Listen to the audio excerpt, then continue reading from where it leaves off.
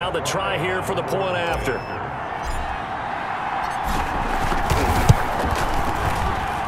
And that'll make it 13-7.